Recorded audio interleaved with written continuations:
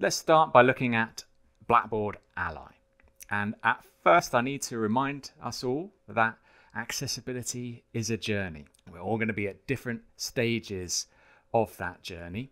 Some of us might feel that we're in the driving seat, and some of us might need a little help on the journey. Some of us might be more interested in the journey rather than the destination. But do remember that it's always a journey when we're talking about accessibility. Is this how you always uh, view content? Do you always read your online content on a device like this or like that? Or maybe a nice big device like this? Is that how you always read your online content? Maybe not. But what about these scenarios? Perhaps you've been on a train using a, a laptop or using a tablet at the beach or perhaps on a plane or using a Kindle in the sunshine because they have such good um, contrast. It's much easier to see what's go, what's written on the Kindle. You might even be looking at a tablet while in a hammock or trying to use a, a device while in a car. Or perhaps you prefer sometimes to listen to content. Um, might even be on the bus or perhaps just chilling in a corner with your cat and listening uh, to an audiobook. So hopefully, I know it's noticed many of you thought those were familiar, those scenarios, but what about these um, challenges? Let me know, have you ever struggled to go through a, a PDF file on a, a mobile phone and found that you had to scroll from left to right and zoom in and out. Or perhaps uh, you'd planned to look at something, but you didn't have any uh, data service, or maybe your data had run out, or you didn't have any reception, your Wi Fi had gone. Or what about this? You're wanting to do a bit of text to speech action, but um, the book turned out to be a scan and it couldn't do any of that text to speech because it couldn't understand the, the picture of the text. So Blackboard Ally can help to answer three big questions. I'll be showing you these uh, one by one. The first is, how can we cater to the preferences of our diverse university population? So what Blackboard Ally provides is for content that is within Blackboard, it will allow you to access alternative file formats. If you prefer PDFs, but you want to make sure that they are um, tagged so that you can make your way through like different headings and levels, uh, you can use that. Or perhaps uh, thinking about having to scroll around to view a PDF on your uh, mobile device. Although some PDFs will reflow, HTML is much better. If you use a Kindle or other e-reader or program on a computer or tablet, EPUB is very good. If you were to use an electronic braille reader, then it will provide you an electronic braille version. If you prefer to, to listen to something, perhaps because you're you're doing a commute or um, you're doing some housework and it's just easier to, to put the headphones on to, to make up some time to go through uh, something that you wanted to read, uh, then you could listen to it instead. And I'm going to give you a, a little demo of how this looks from the student point of view. So here I am in a Blackboard pre-production environment. It's a little bit slower than live, so apologies if anything takes a little while. I'm in a course as a student. This is a course I've just put together with some example content, and it's about Southampton and the surrounding area. Uh, the first thing that you might notice, particularly if you are a regular Blackboard user, is that you have these extra alternative format icons. Now these extra alternative format icons appear beside content where you can get a one of those alternative formats that's provided by Ally. So if I select that icon, you can see that I could access this file in a number of formats. So I'm going to tell you a bit about them in a moment. But uh, let's just have a look at a at the HTML version first. So that's going to open, and so this is a, a just a short document about uh, towns and cities in Hampshire, three of them in particular. you can see that it's, although it started as a Word document, and perhaps actually I should show you that Word document first. So if I just open up that Word document, you can see here I have that document and I requested an alternative form, an HTML alternative format. And so here I have that rendered in HTML. And of course, because it's HTML, it's nicely responsive and it will be just as readable on a tablet, a phone, or a monitor, or on a computer, a large monitor. And the benefit of having the HTML mode is I could use ex browser extensions. So if I wanted to turn on the reader mode um, plugin for, for Chrome, I can look at the content in that way.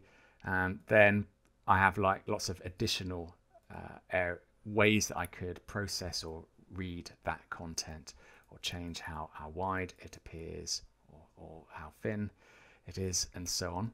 Or something else that I might want to do because I like maybe um, taking notes or um, so if I I could say I want to highlight this and perhaps add a, a post-it note here. So this is just with a, a browser extension I can add uh, a note about that content and then if I were to refresh that page because of this particular browser extension I've got it uh, there as well. Now, you might have noticed that if I go back to the original Word document, if I just enable editing for a moment, you can see uh, that these uh, kind of titles are not in the HTML version. And that's because I hadn't added any proper heading styles to that document, which I'll tell you more about in a moment. Let's just look at a different alternative format of that document. If I go to the EPUB version, I could open up uh, that EPUB. I've got a e uh, electric uh, book reader on the um, on my computer here, but normally you'd be working with uh, on a Kindle perhaps where you might open this kind of content. And again, I have different options for how I would like to um, change the uh, the view of that content. And so if I change then the, the text to be white and so on, then I've got that there. And so this is how it might be in an e-reader. And if I wanted, if you might have noticed this Beeline reader, this is a tool which um, provides, uh, uh, uses a technique which uh, makes it easier in some, for some people find it easier to, to read content. What it does is it changes the color of the text as you progress uh, through the different paragraphs. And uh, some report that that makes it easier for them to view. And you can also change some of the colors, and there's a nice uh, dark version there as well. So that's just one of those options that I've, we have with Ally there. Now, I have a, a scanned file here. If I open up uh, this uh, PDF file, and just move that on screen here. You can see this is a scan from a from a book. And it's not uh, too bad quality of a of a scan but you can see that is obviously uh, not a real or not usual text that you might be used to in a PDF it's, it's just a picture. So another option that Ally provides is it can automatically do uh, optical character recognition. So if I run that through, it's going to now create a PDF, which now you can see this has been uh, converted to text. And if I just uh, edit here, you can see that this is now selectable text. So if I wanted to generate an MP3 version, that would work. And although it's not um, perfect, it's quite good. Uh, this this version. So if I had had a, a scanned document uploaded to Blackboard, uh, that would be there as well.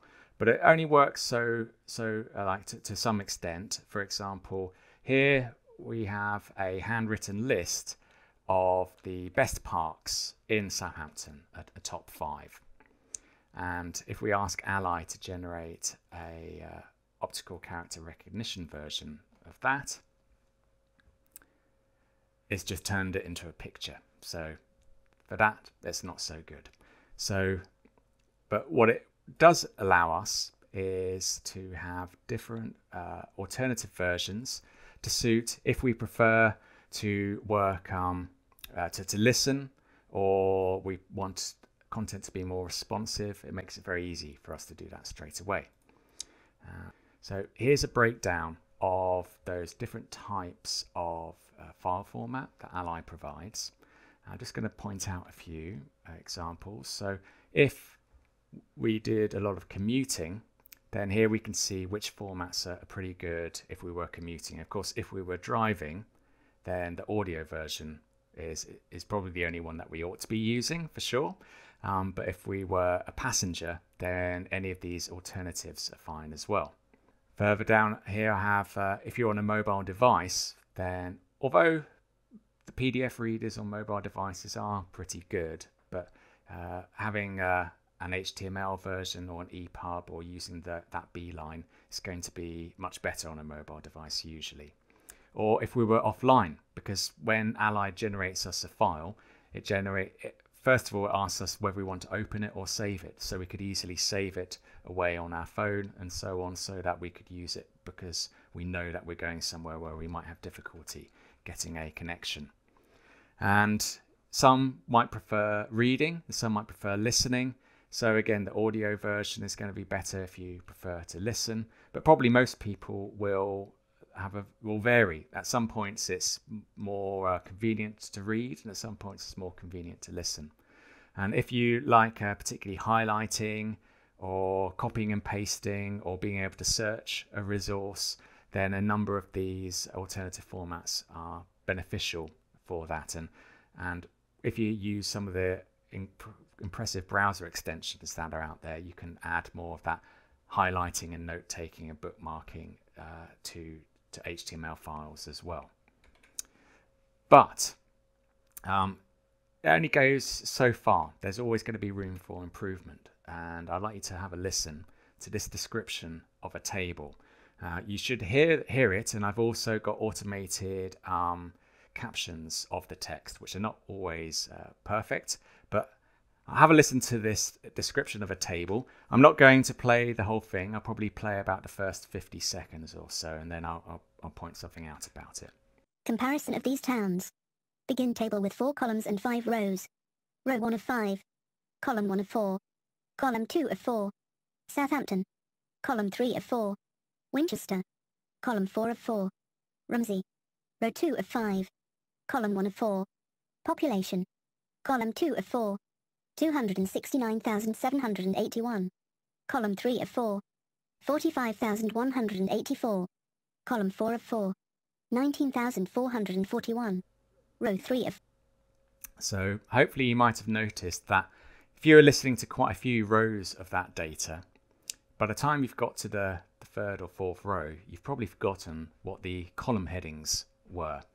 But if or actually, before I say any more, have a listen to, to this version of that same table.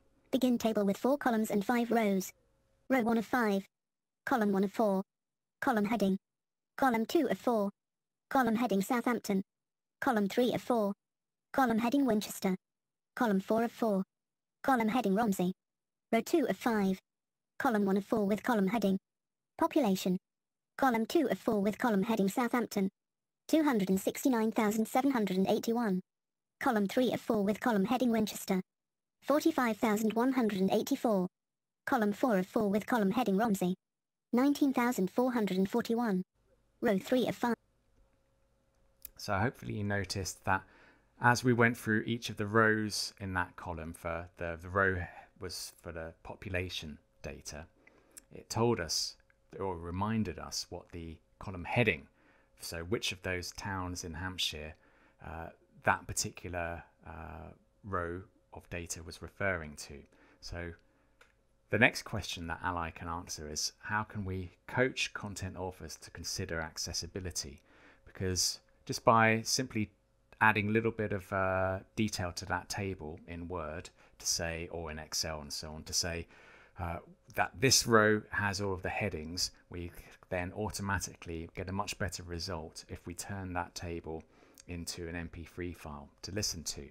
So it's important that uh, we can help our colleagues to, to make sure that they're considering accessibility as they're uploading content to Blackboard because what we would try want to avoid is seeing tweets from our students like this where in this case a student found a scan of a book had been uploaded onto Blackboard and that scan uh, you'd have to turn your head to be able to have any chance of reading that. It wouldn't be that great a result or an experience for sure so what Ally will do is it will add little traffic light icons that only staff will see. I call them traffic lights. They're not really traffic lights. They're more like speedometers.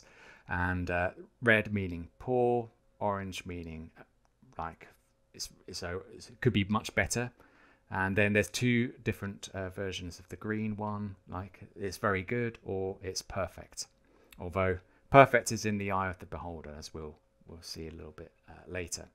So I'll give you a demo of this in a moment, but just to give you a quick overview, where you see content as an instructor or someone who has access to edit a course, so students do not see this, um, you have these little indicators explaining how accessible um, that content is. And when you select that icon, it will um, bring up a review of what the issues are that you ought to aim to resolve in within that content and it will always point out the most significant issues first. So it will ask you to fix areas which will have the greatest benefit. Uh, so it takes you through in priority order.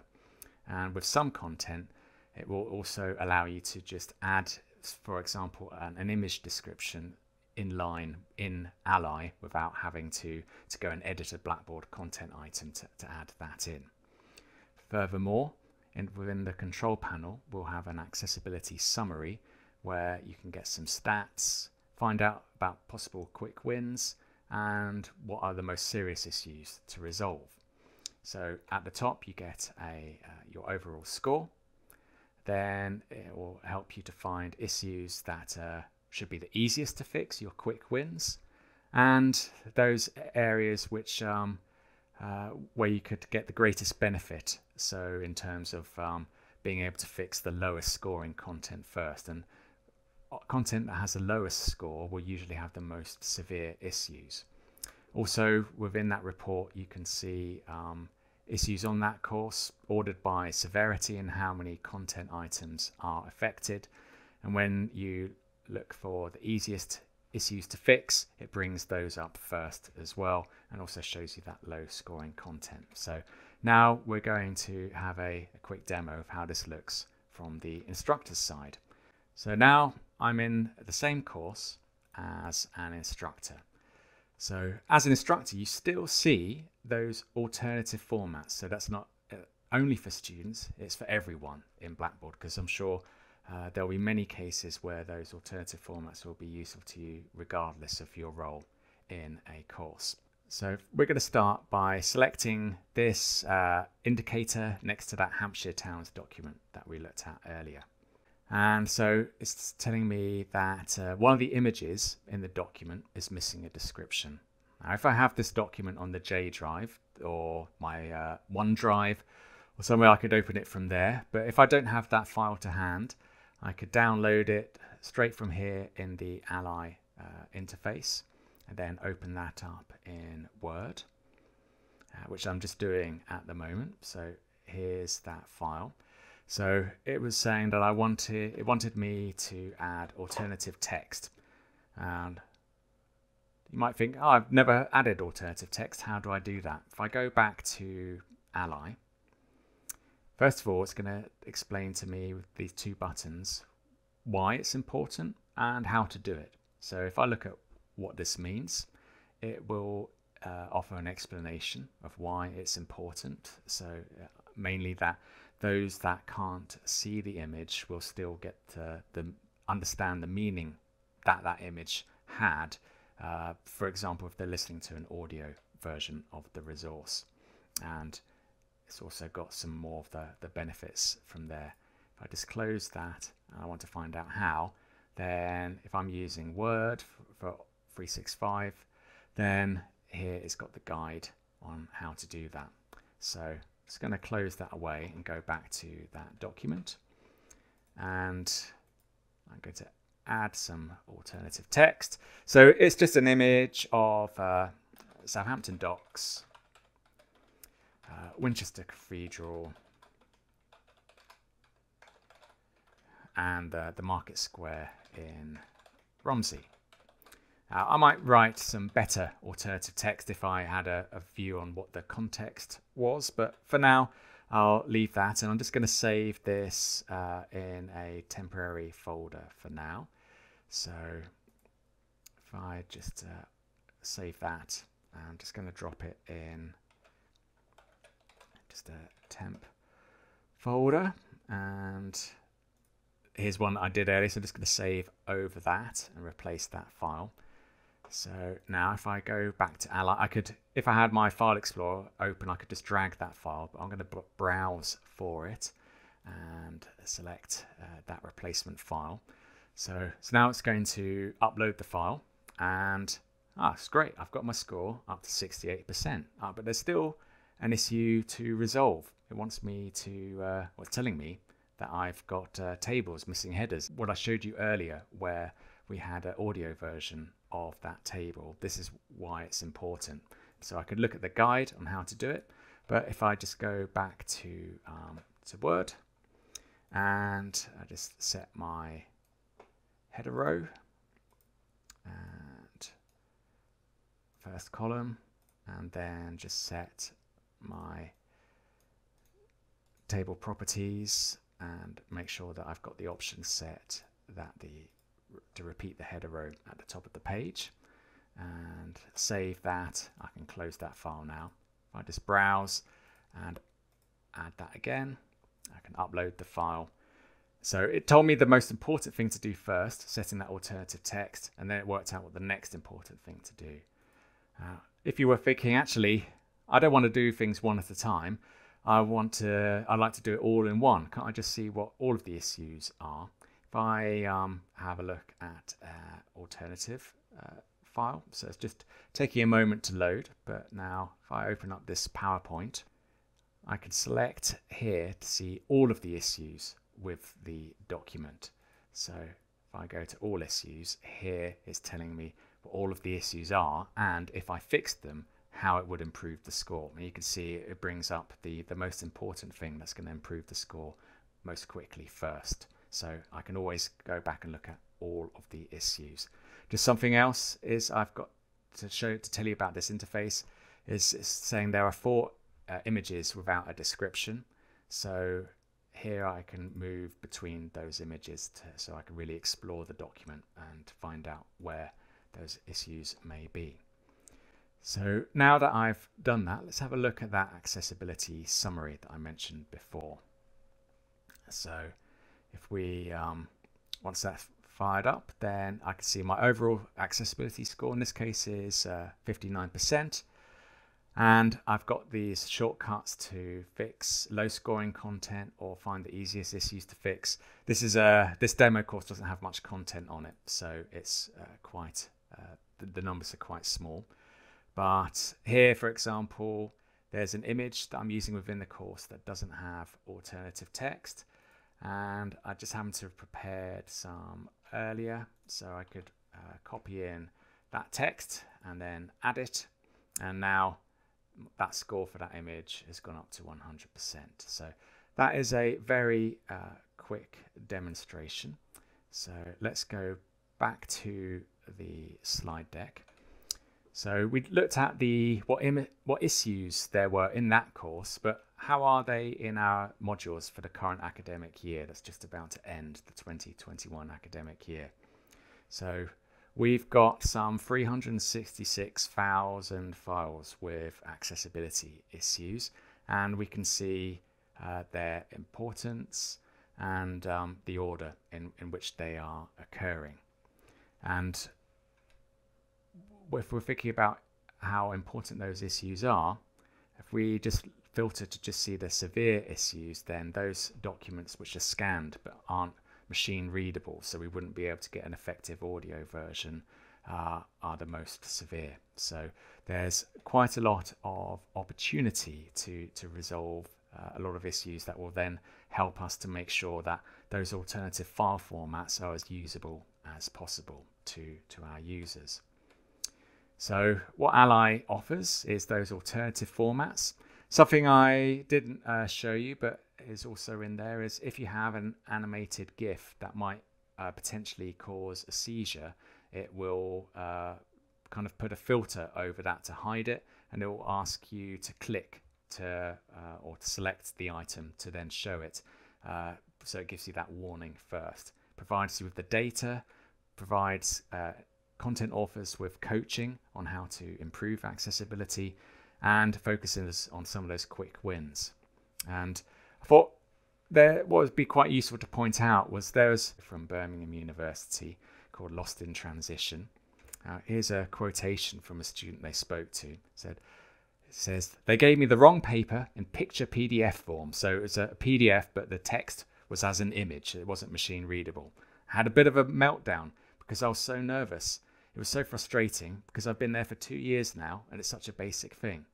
So if um, this document had been in uh, their learning environment and Ally had been installed, then all of the instructors would be aware that that was quite an important issue.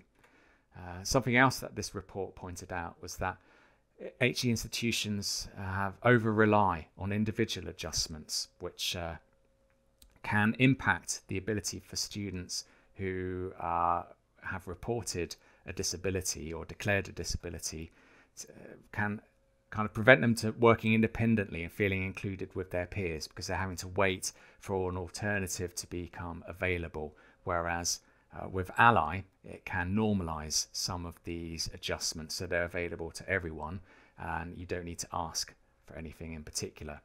And that document also uh, pointed out that there's a lack of expertise across the sector in how to make higher education accessible.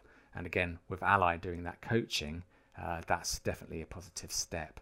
And I really like that thought about normalizing accessibility uh, by just providing those alternative formats to everyone in a course, regardless of if you've declared an, a disability or impairment. And good examples of normalizing accessibility are those drop curbs, which might be for wheelchairs, but also used for bicyclists, skateboarders, and so on.